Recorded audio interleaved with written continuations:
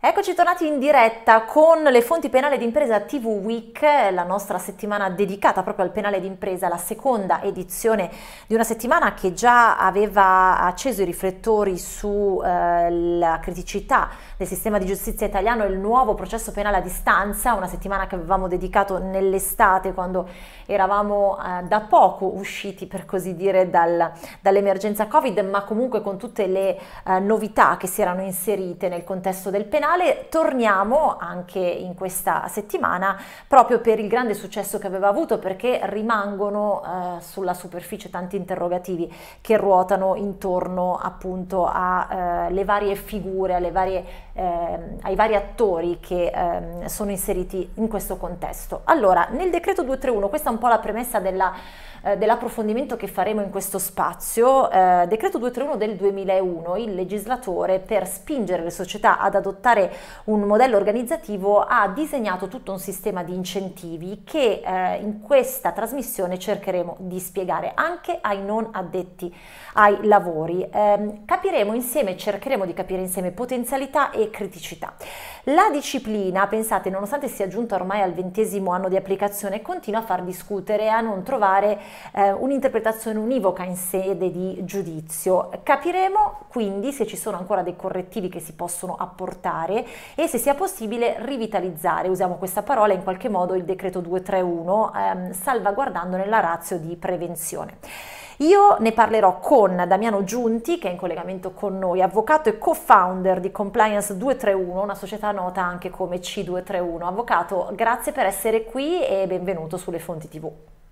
Salve a tutti, buongiorno. Innanzitutto vi volevo ringraziare a nome mio e a nome del team di C231 che nel frattempo è diventato divisione Liga della società Creios SRL per averci dato la possibilità di intervenire questa mattina su un tema che a me diciamo, è molto caro. Effettivamente, come lei ha evidenziato correttamente, la riforma 231 l'anno prossimo festeggia 20 anni di vita. Ciononostante, sono rimasti aperti dei profili notevoli di criticità dal punto di vista applicativo che rendono effettivamente spesso difficoltoso per le aziende allinearsi al contenuto di questa riforma. Ciò nonostante si può dire che è stata una riforma fondamentale, si è parlato spesso anche di una vera e propria rivoluzione copernicana perché dopo il 2001 gli orizzonti punitivi del nostro sistema si sono ampliati fortemente. Infatti in precedenza, in presenza appunto di un illecito penale, poteva rispondere diciamo, dal punto di vista punitivo dell'illecito soltanto la persona fisica autrice di questo reato con l'entrata in vigore del decreto 231 alla responsabilità penale della persona fisica si aggiunge una responsabilità sebbene formalmente amministrativa, sostanzialmente però di tipo penale, che investe l'ente collettivo, quindi su tutte le società, quindi le imprese. Ed è una riforma che sicuramente ha segnato la storia del nostro sistema penale perché ha cercato di far proprio l'approccio del cosiddetto appunto caro- bastone della carota, il carrot and stick approach di matrice anglosassone. Infatti il nostro ordinamento è consapevole che per sconfiggere certe tipologie di criminalità, su tutta appunto la criminalità d'impresa, è richiesta una cooperazione diretta da parte appunto dell'organizzazione complessa e quindi dell'azienda. Allora il legislatore cosa ha fatto? Minacciando l'applicazione della sanzione diciamo, sostanzialmente punitiva di cui al decreto 231 nei confronti dell'azienda, ha cercato di spingere quest'ultima a dotarsi di presidi e protocolli adeguati a prevenire il rischio reato. E lo ha fatto delineando un sistema di incentivi che nella migliore delle ipotesi può portare addirittura l'ente ad andare esente dalla responsabilità. E il fulcro di questo sistema, come sicuramente ormai sapranno benissimo le aziende, è l'adozione del modello di organizzazione, gestione e controllo. Ecco, il valore premiale del modello si atteggia in modo diverso a secondo che il modello appunto idoneo a prevenire il rischio reato sia stato adottato o meno ed efficacemente attuato prima della commissione dell'illecito o dopo. Nel primo caso, alle condizioni del decreto, il nostro ente, la nostra azienda potrà andare esente dalla responsabilità.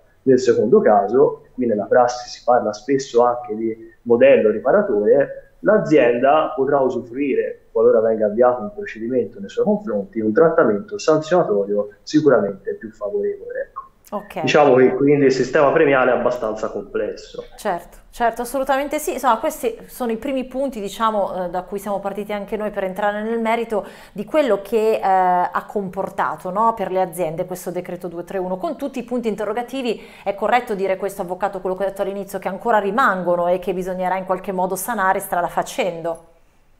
Certamente restano dei profili di criticità nell'ambito applicativo di questa disciplina che determinano poi profili di incertezza per le stesse aziende che si trovano appunto ad adottare un modello di organizzazione, gestione e controllo.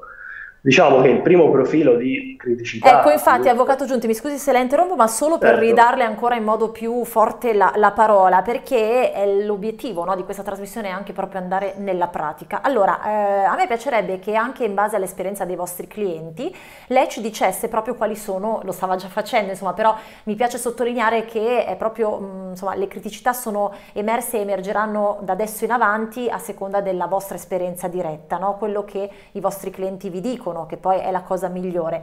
Quali sono le criticità eh, che sono contenute nella, nel decreto, insomma, nella formulazione del decreto?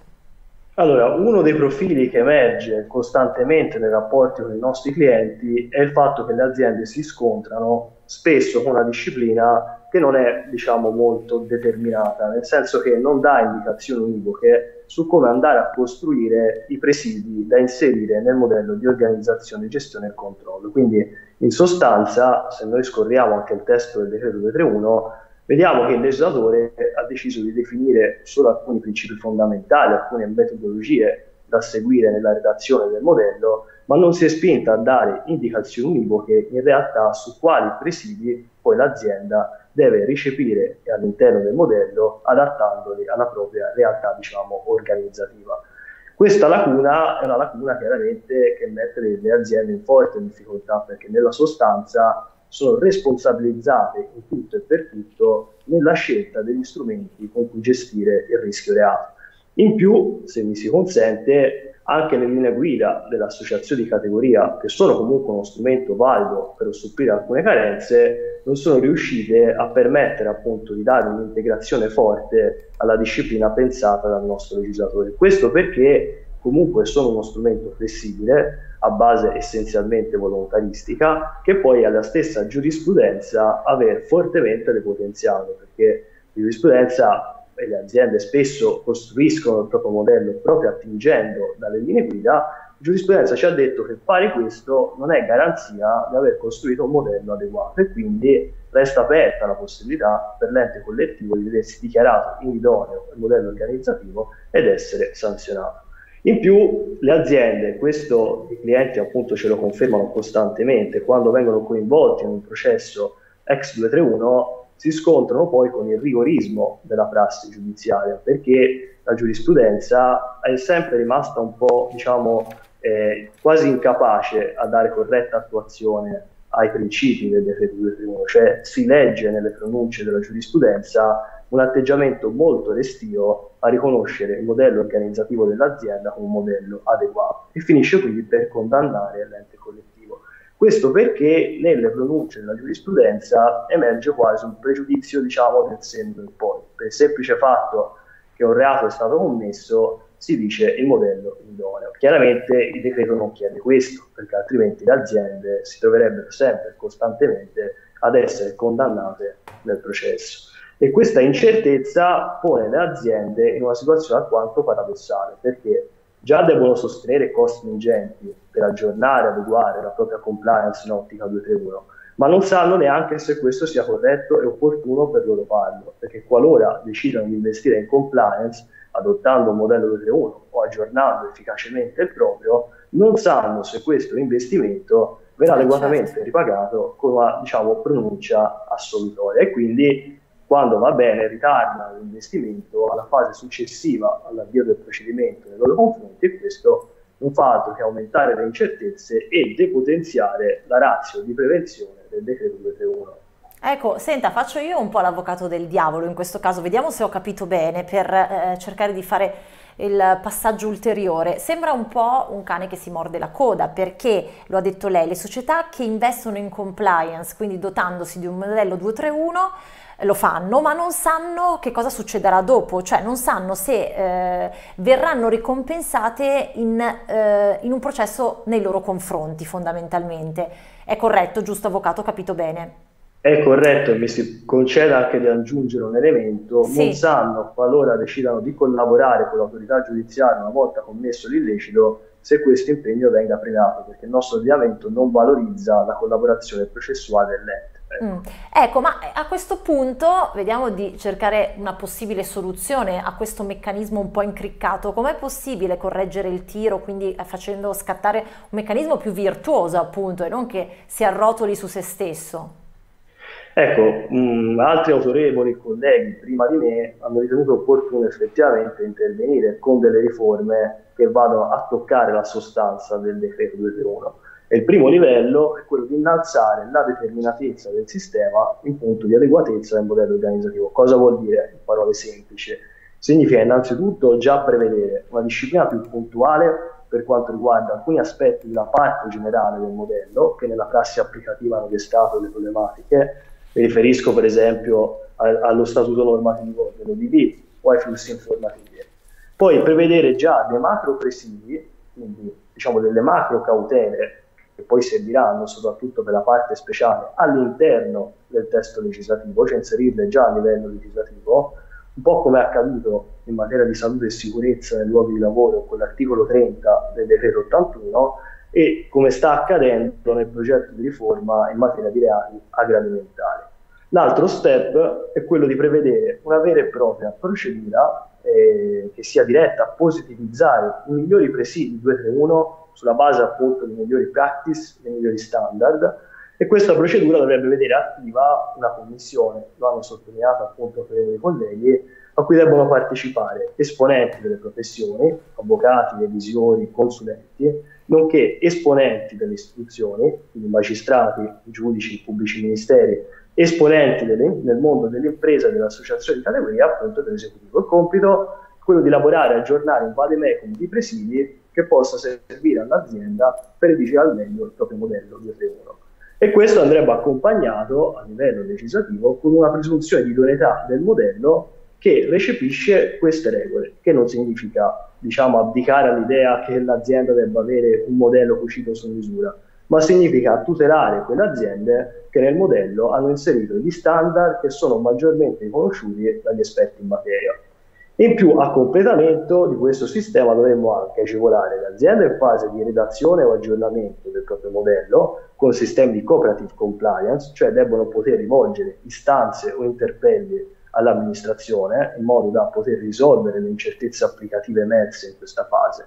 E andrebbe infine potenziato il sistema premiale a vantaggio dell'ente collettivo, ovvero prevedere qualora l'ente, una volta commesso l'illecito, decida di cooperare attivamente con l'autorità giudiziaria anche all'esito di indagini interne, poter usufruire di una causa di non punibilità qualora tale collaborazione sia stata efficace e tempestiva.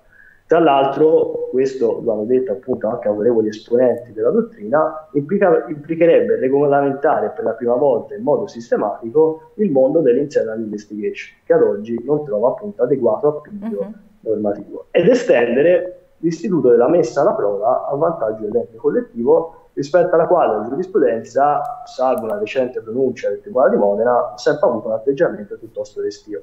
Combinando soprattutto questi due elementi, la messa alla prova e la causa non punibilità con quelle caratteristiche che ho appena descritto, si riuscirebbe a rivitalizzare anche il sistema premiale del decreto 231. Ecco, avvocato, lei sa che però non è finita qui perché se volessimo parlare nuovamente di eh, ulteriori criticità, la disciplina è tornata proprio negli ultimi mesi con forza sui tavoli di lavoro perché c'è stata questa estensione ai reati di natura tributaria. E quindi mm, mi viene da pensare che eh, ci, so, ci siano altre incertezze che gravano proprio sulle aziende oggi. Quali sono? Allora, la prima diciamo, difficoltà che hanno trovato le aziende a causa di queste riforme è stata legata all'attività di aggiornamento dei propri modelli organizzativi, perché chiaramente è stata una riforma che ha spinto le aziende a dover e procedere ad aggiornare i modelli esistenti, tuttavia la prossimità temporale delle due riforme, la legge 157 del 2019 e il decreto 75 del 2020 che ha dato attuazione alla direttiva PIF ha fatto già sì che in fase di primo aggiornamento le modifiche al modello dovessero essere realizzate avendo, diciamo, assumendo un occhio prospettico che guardasse anche appunto al successivo ricevimento della direttiva PIF. Quindi in sostanza i correttivi in alcuni casi apposti dalle aziende potevano presentare delle discrasie rispetto alla seconda novella entrata in vigore nell'estate. Questo ha fatto sì che le aziende appunto dovessero svolgere un'attività già complessa come la redazione del modello alla luce appunto di riforme che a distanza di poco tempo hanno toccato ben due volte la materia di illeciti tributari.